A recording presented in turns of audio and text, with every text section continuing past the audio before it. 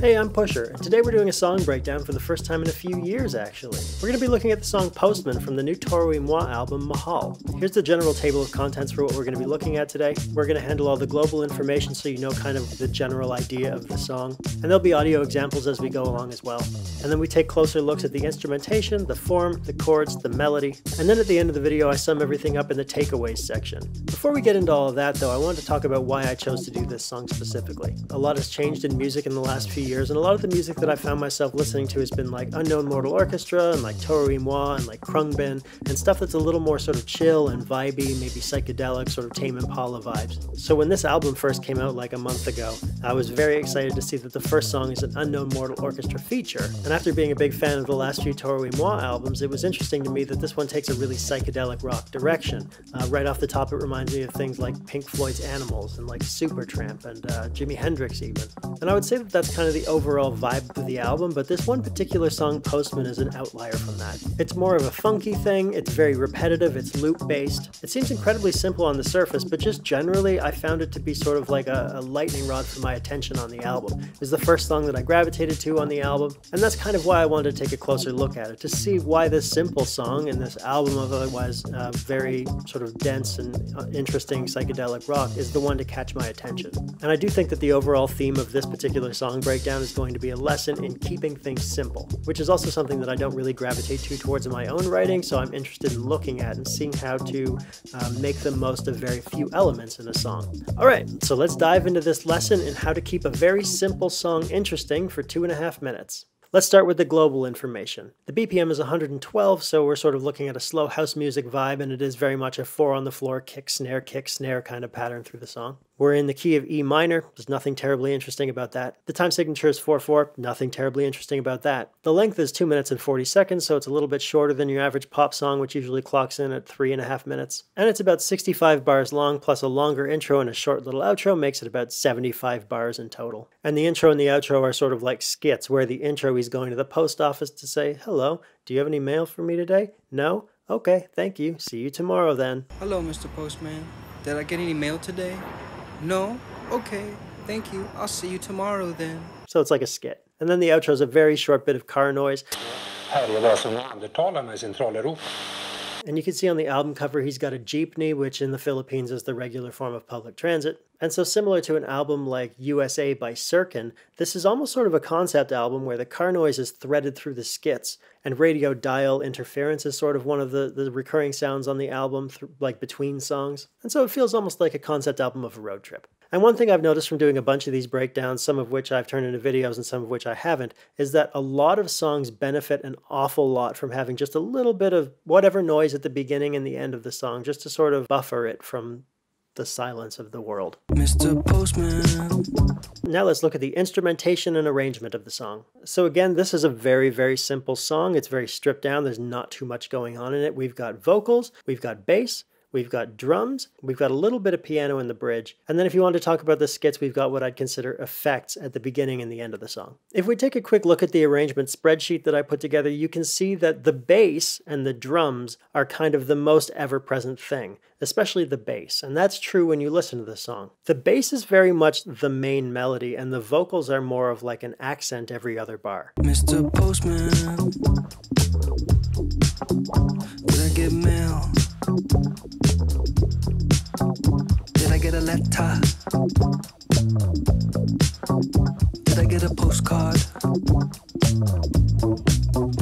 And the bass is actually just a looping bit of audio, and I know that because I've compared the same bar in each 8 bar loop of the bass, and they are identical. So in this situation where the vocal's not really leading the melody and the bass is just looping, the way that it's kept interesting, and you can see this reflected in the spreadsheet, is with the constantly changing drums. Elements are constantly coming in and going out, and there are different variations and like different open hi-hats, and there's a 16th note tambourine, there's a 16th note hi-hat, there's an 8th note hi-hat. The kick and snare are pretty regular, and while generally the kick and snare are doing a backbeat four on the floor pattern, there are occasional variations on that. If you look at the MIDI of the drums, you can see that things are kind of coming in and going out in a way that's not really the most regular.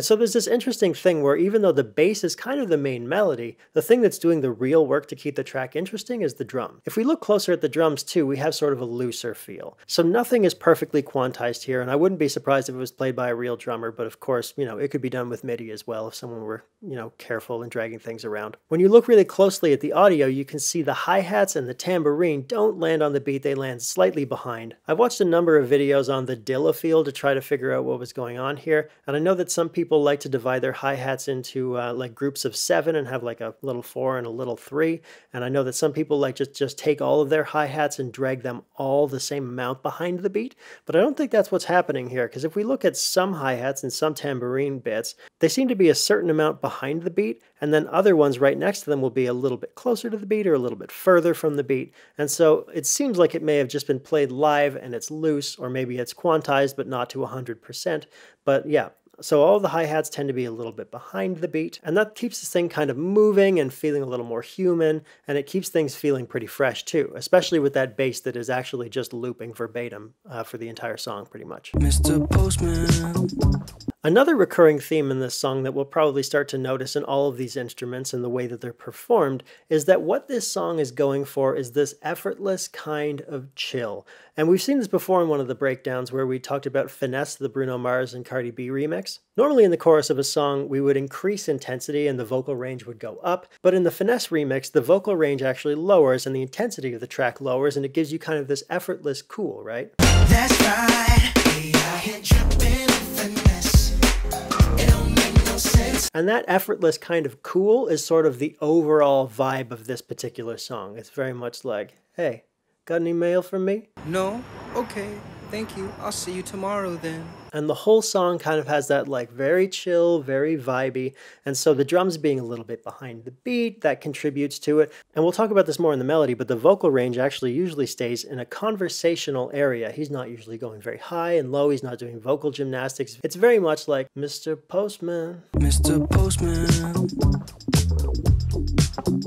Did I get mail? Right? It's chill. It's super chill. I have two more notes for instrumentation. The first one is the bass. Because the bass is looping, uh, an interesting thing that's happened here to keep it from getting stale is there's a sort of wah effect on it, uh, sort of opening and closing automatically of a filter.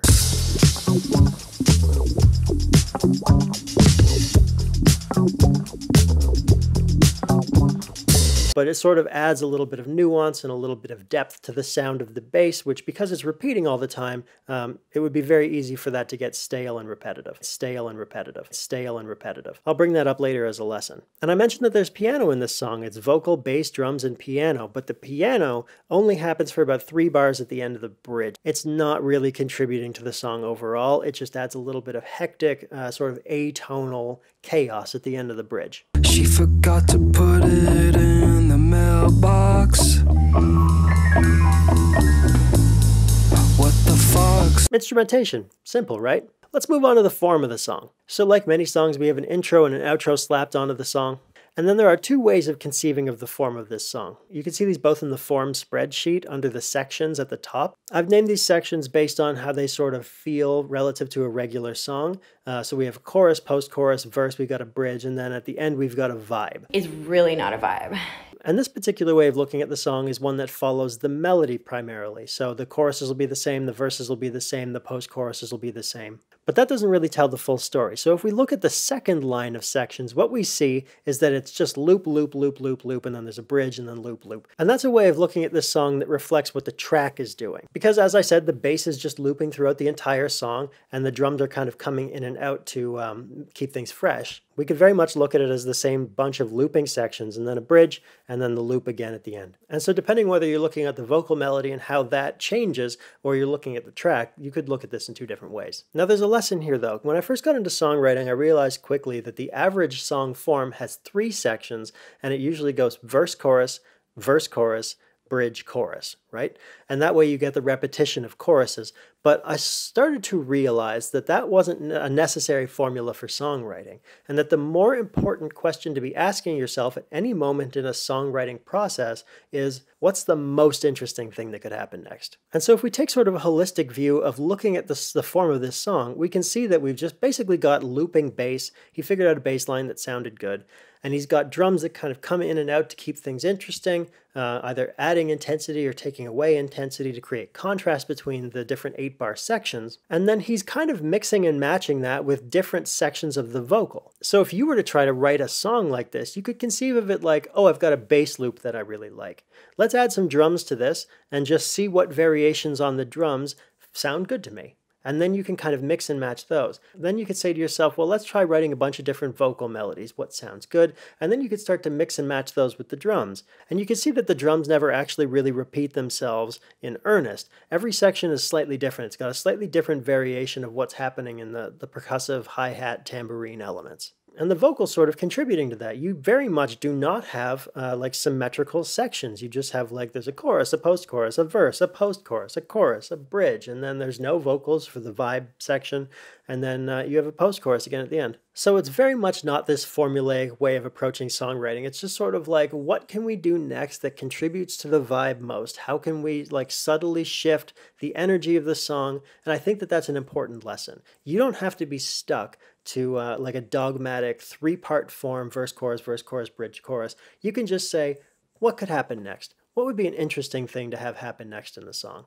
And I think that it's interesting to see how we accomplish that. There's one more thing I want to talk about with form, and it's the bridge. This song is a tremendously elegant and simple example of uh, how to create contrast in the bridge from the rest of the song by subtly shifting the focus of things. So right away, the most obvious thing is that the drums drop out, and the vocal is now a solid pink line instead of every so often. What's really happening under the hood here, though, is that the bass goes from the main melody to a supporting part, and the vocal goes from a supporting melody to the main part. And when we're talking about contrast in song sections, what we're really talking about is how to shift a person's focus from one place to another. And I think that that's incredibly simple. There's only three things going on in the song. The bass is the main melody, the vocals supporting, and the drums are always there. So what happens? The drums are not there. The bass becomes the supporting element, and the vocal becomes the main melody. Mr. Postman, get a package.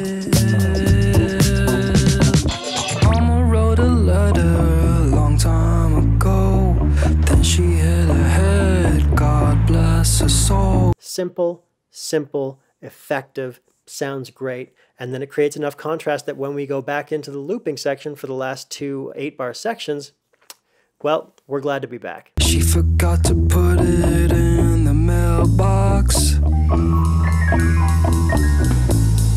What the fucks? It feels like a return to where we came from, and the song, even though it's just looping pretty much, never feels stale because of what happens in all these instrument parts. Let's talk about the chords. The chords in this song, remember the bass is just looping. The chords are just sort of like an E minor to an A7, so a 1 minor and a 4 7. Simple, not really anything else going on there.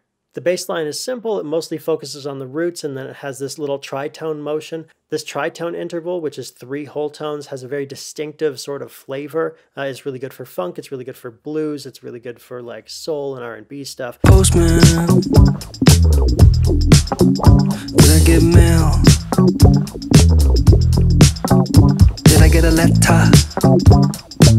Uh, it's got a very distinctive kind of um, dissonance to it. And so it's mostly just the roots and this tritone thing. Now the tritone thing stays the same all the time and the roots change from E to A. And in the bridge, he's pretty much just walking up and down between the roots of the chords. Not too much to it. One thing I will say about the E minor to A7 repeating chord through the entire song is that it makes this song feel sort of uncomplicated makes it feel kind of easy, makes it feel very familiar right when you get into it. And that contributes to this overall feeling of chill. Now let's look at the melody. We talked about the bass melody and harmony, so let's focus on the vocal melody. All the notes in the vocal melody are in the E minor blues scale. Makes sense along with the sort of blues and funk based tritone bass line, right? I mentioned this before, the vocal melody has an extremely limited range. It mostly just hangs around the tonic E. Sometimes we use a minor third, sometimes we use a major third, and that presents just enough color change to keep the song kind of feeling interesting, But again, like the Bruno Mars finesse chorus,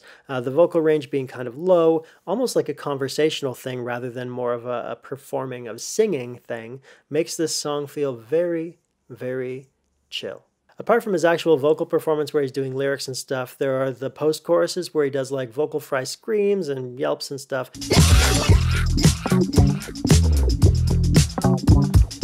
And it's actually the same four screams that have basically just been copy and pasted. There are three post choruses. In the first two, he's got what I call the crazy train echo on it.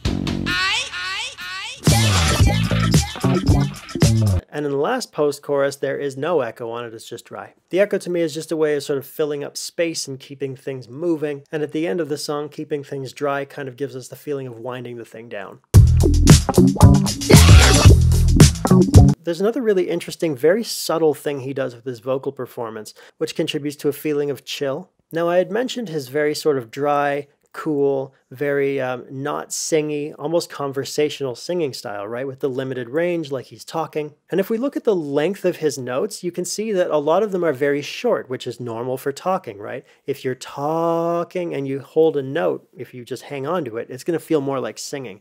So uh, in some cases, he'll make it very short like that, like it's conversational. And the words actually tend to cut off with snare hits, which keeps things feeling very tight. It makes the snares feel snappier. But then some of the time, he'll hold his words just a little bit longer, so it's it feels a little more like singing, but still not like a big, you know, elaborate vocal performance. But it sort of gives a little bit of strut in his walk, you know. Postman, postman, postman, postman.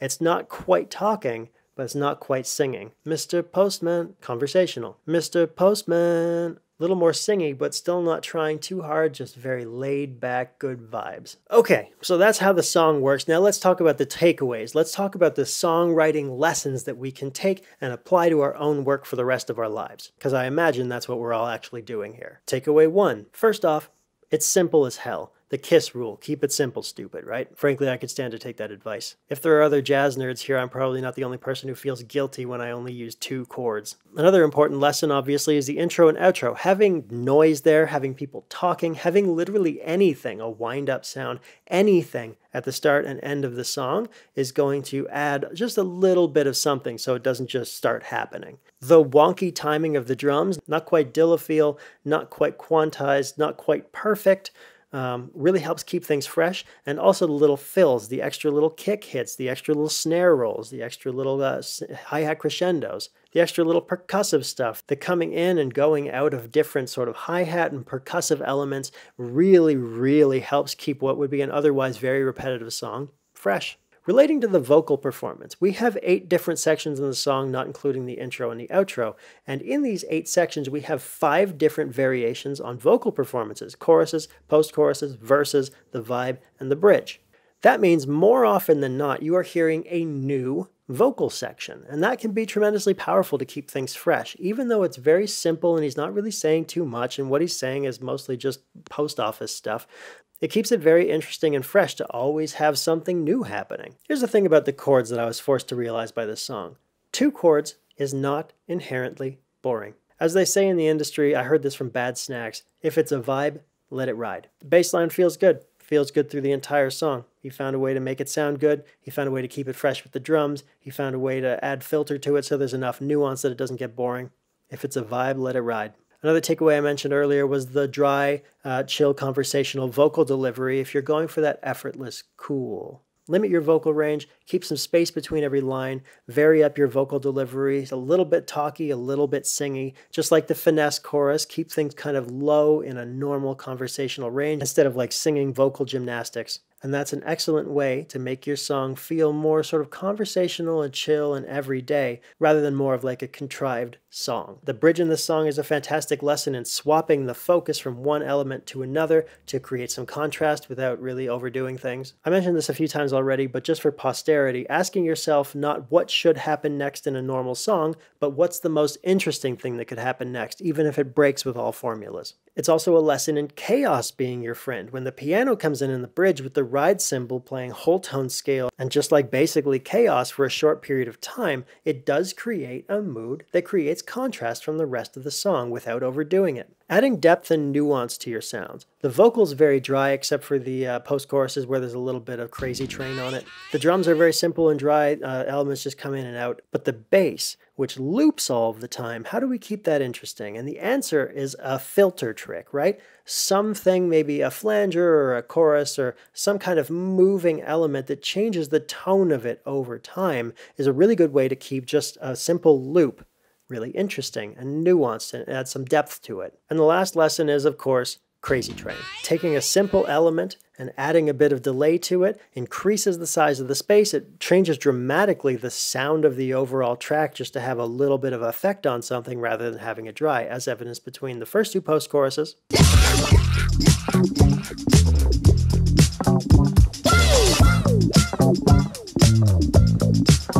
And the last post chorus.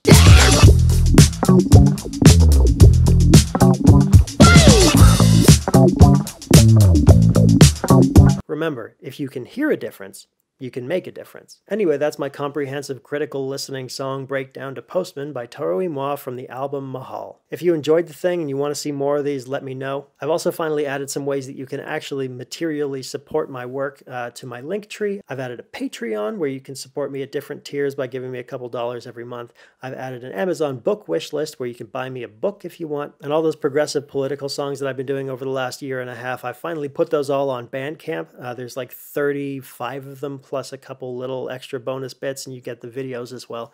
Um, and that's like $13 Canadian or something. So if you'd like to support my work and send me a couple dollars for all of this, um, I'm not really able to monetize most of the work that I've ever done. So if you'd like to do that, I would appreciate that. And hopefully, I can make these song breakdowns more of a regular thing because I learn a lot from them. Hopefully, you learn a lot from them. Anyway, like, have a good one. I'll see you again soon, hopefully. Peace.